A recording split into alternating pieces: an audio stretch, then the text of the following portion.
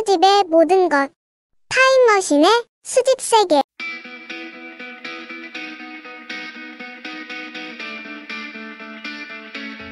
여러분 반갑습니다. 타임머신의 수집 세계 타임머신입니다. 자, 오늘 소개할 내용은요, 2002년 월드컵을 대표할 만한, 예, 월드컵 민트 세트 1차분과 2차분에 대해서 상세하게 또 흥미로운 behind story까지 알아보도록 하겠습니다. 자, 지금 현재 카타르에서 월드컵 대회가 한창 진행 중에 있는데요. 어, 더군다나 이제 아시아 국가들이 어, 굉장한 어, 선전을 이루고 있어서 어, 희망이 좀 많이 되는 어, 그런 대회인 것 같습니다. 자 그러면 본격적으로 한번 우리 어, 나라에서 개최되었던 그 월드컵 어, 민트 세트에 대해서 상세하게 알아보는 시간을 가져보도록 할게요. 자 지금부터 출발하겠습니다.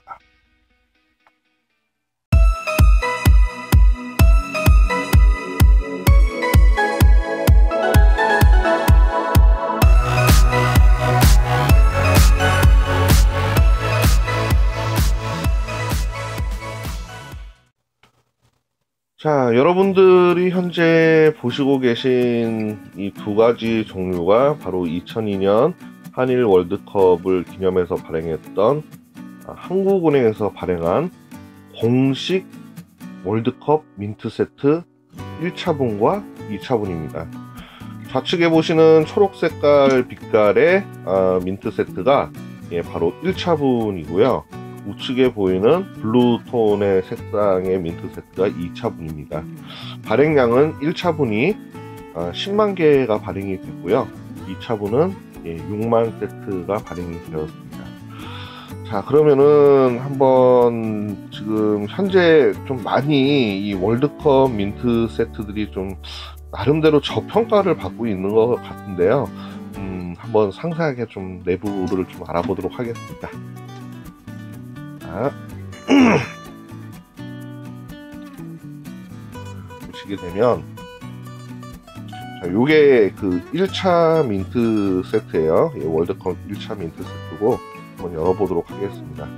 어, 우리가 그 한 가지 여기서 간과를 하면 안 되는 게 있는데요. 보통 이제 민트 세트 그러면은 한국은행에서 발행한 공식적으로 발행한 민트 세트들만 공식 민트 세트로 알고 계시는데 이 월드컵 민트 세트 같은 경우도 자 여기 보시다시피 한국은행에서 공식적으로 발행을 한 겁니다. 이 공식 민트 세트라는 것은요, 어, 그 나라의 중앙은행에서 발행을 하게 되면은 그리고 또 한 가지 조건이 있죠. 그 발행한 당해 연도에 어, 모든 번종의 주화들이 이렇게 세팅이 되어 있으면은 공식 민트 세트로 인정을 받습니다. 예, 그래서 그 두 가지 조건을 모두 부합을 하는 것 중에 하나가 또 이 월드컵 민트 세트죠. 그리고 이 월드컵 민트 세트에서 우리가 한 가지 알아야 될 것은요. 바로 어, 실질적으로 기념 민트 세트의 1호라고 보시면 돼요. 예, 물론 그 한 해 앞서서 한국은행 창립 50주년 기념을 한 예, 2000년 민트 세트가 있기는 있습니다만 그것은 한국은행의 창립 기념이기 때문에 사실 국가의 어떤 큰 행사 어떤 그런 것하고는 좀 거리가 멀죠. 그렇기 때문에 국가의 큰 행사를 기준으로 해서 어, 이렇게 그 만들어진 공식 기념 민트 세트는 이 월드컵 민트 세트가 우리나라에서는 최초로 발행이 된 것입니다. 예, 기념 주화하고는 그 개념 자체가 틀리죠. 왜냐하면 이거는 현행 주화를 예, 기준으로 해가지고 어, 예, 베이스가 되는 거죠. 현행 주화가 그렇게 돼서 또이 가운데 천원 기념 주화까지도 함께 세팅이 되어 있기 때문에 나름대로 상당히 의미가 있는 어, 민트 세트라고 보시면 됩니다. 월드컵 민트 세트 이후에는 이런 공식 기념 민트 세트는 아직까지 나온 적이 없습니다. 예, 뭐 최근에 뭐 조폐공사 어, 70주년이라든가 한국은행 예, 70주년 그 프로포 세트 같은 경우는 사실 어떻게 보게 되면은 그 국가의 큰 행사를 기념하기 위해 만든 것은 아니기 때문에 그것은 좀 성격이 좀 틀린 거죠. 자 그러면 일단은 세부적으로 한번 보도록 하겠습니다. 이 먼저 1차 민트 세트인데요. 자, 열어보게 되면 이렇게 예, 당시에 우리가 예, 준공을 하였던 아, 각 지역의 월드컵 경기장의 어, 모습들이 이렇게 나와 있고요. 여기 보게 되면 네, 2001년에 발행이 되었기 때문에 예, 액면, 예, 각 번종의 주화들도 이렇게 예, 2001년 한번 봐볼까요? 예, 500원짜리는 2001년 네, 그 다음에 100원도 2001년 아, 이렇게 모두 다 2001년으로만 이렇게 구성이 되어 있습니다. 예, 10원도 그렇고요 5원도 그렇고요 1원도 그렇고요 자 그러면 여기 지금 가운데 여기 지금 기념주화가 하나가 천원 주화가 이렇게 세팅이 되어 있거든요 잘 보이시나요?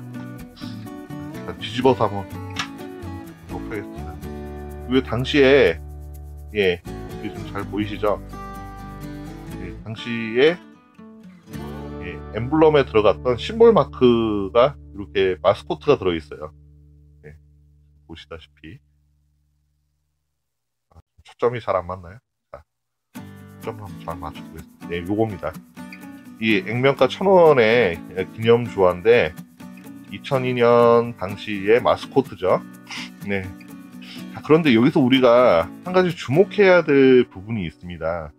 보통 이제 그 월드컵 그이 민트 세트를 그냥 크게 대수롭지 않게 간과하고 있는데 굉장히 의미가 있는 그 주화 중에 하나가 바로 요 천원 주화입니다.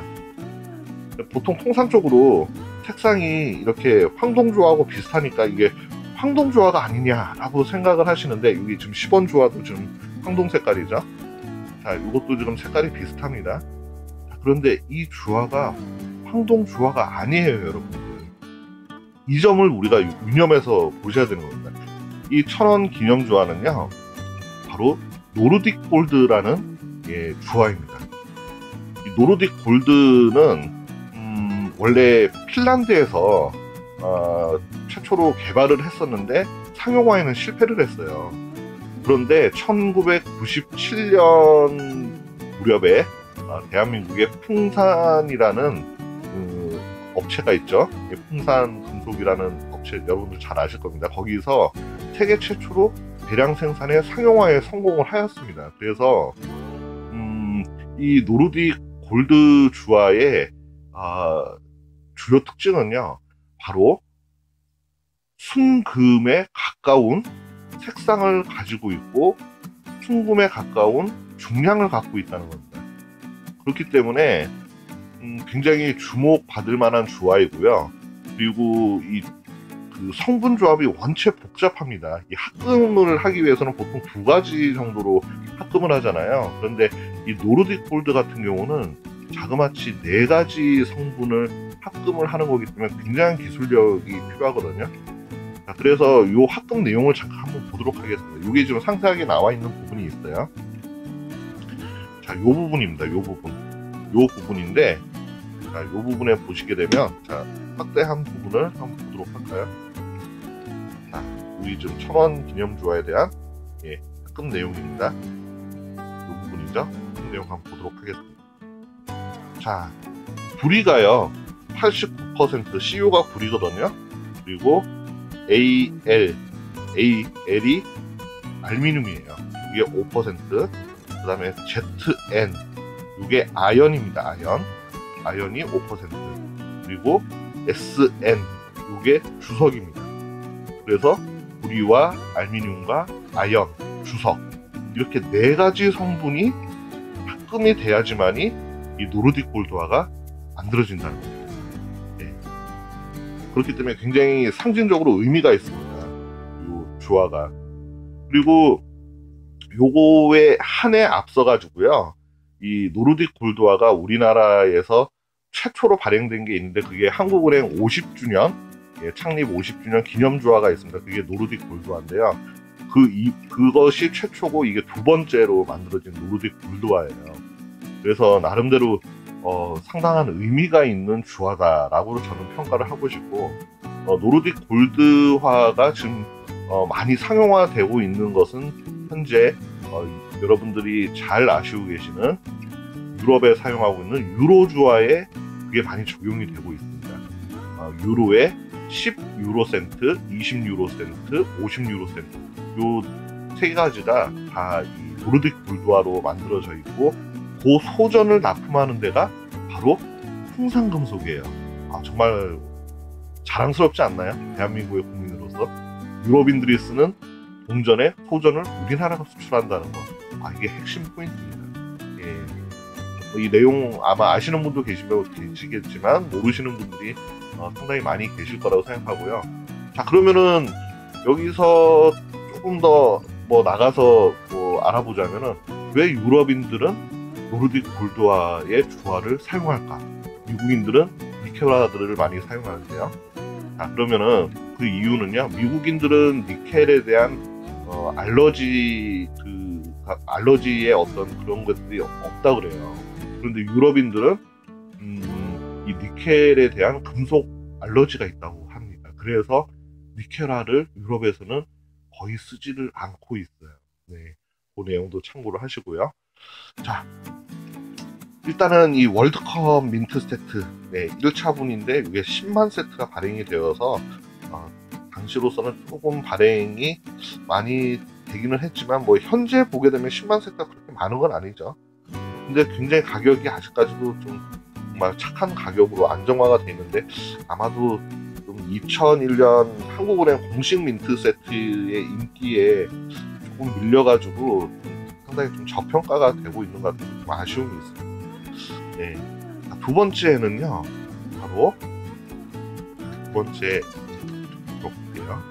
두 번째 민트 세트는 예, 바로 2002년에 나왔습니다. 이게 2차 월드컵 민트예요. 예, 여기 한번 열어보도록 할게요. 예, 요 2차 민트 세트의 발행량은 6만 세트가 발행이 되었습니다. 자, 여기도 좀 주목할 만한 게 있는데요. 바로 이 가운데 부분의 요 황동화. 예, 요것도 역시 마찬가지로 노르딕 골드화입니다. 노르딕 골드화. 예, 일반 황동화가 아니에요. 그래서 의미가 있다는 겁니다. 반대면은 이렇게 생겼고요. 역시 이거는 2002년에 발행이 되었기 때문에 보시게 되면 예, 각 건종의 주화들은 2002년도로 세팅이 되어 있는 것을 알 수가 있습니다.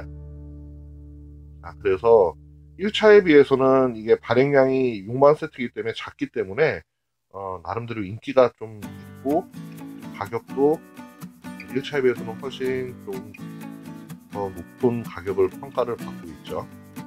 네. 그래서 이것도 지금 잠깐 보시게 되면 이 내용이 나와 있어요. 맨 밑에